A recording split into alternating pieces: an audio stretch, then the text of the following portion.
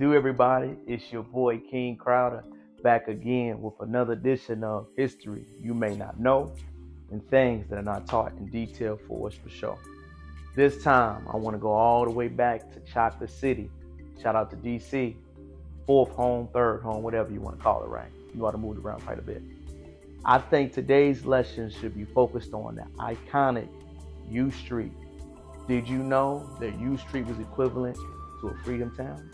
Did you also know that U Street was called a Black Broadway inspired and got its popularity as being a Harlem Road in DC?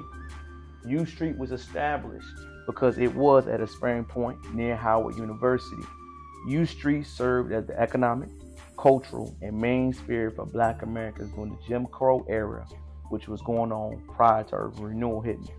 The nickname of U Street was Black Broadway, with over 250 black black businesses solely by black Americans and solely by black banks, Industrial Bank, which is the oldest black bank in that area. You must understand that like many black Wall Streets that we see across the country, U Street was the main hub for Black Hub Street in the District of Columbia for all the black Americans around that time. People do not know that many black Wall Streets were formed due to the uprising of free blacks around this time.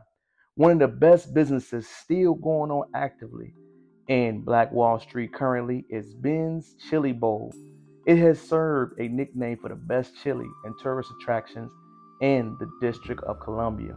This chain was started roughly around 1950 from its families and has still been a black stable hub to this day. The iconic reference for U Street was primarily held to the teeth by its businesses. We must understand that that culture, the music style, the luxury, the dancing, and all infused in politics came from the primary luxury of Howard, no, undoubtedly, in U Street secondly. Many movements that we've seen, such as the March on Washington, children's being around, open display of affection, uh, going against um, nonviolent protests, all these things happen in the nation's capital. U Street deserves its credit for having an influential boundary for any black Americans traveling to the district around that time. You got the ability to shop and be around culture and things of your ethnicity. U Street now is still a famous street. If you ever go to DC, it's always highly recommended you go there. But most people do not know the origin story of why it got so big. Most people have no idea why it was so influential and why you had to go to U Street. Remember back in the time, all the cultures were in the environments that you saw the free blacks from. So to hear that music, to hear that talent, everything was not integrated. You had to go to those markets to see those up and coming artists.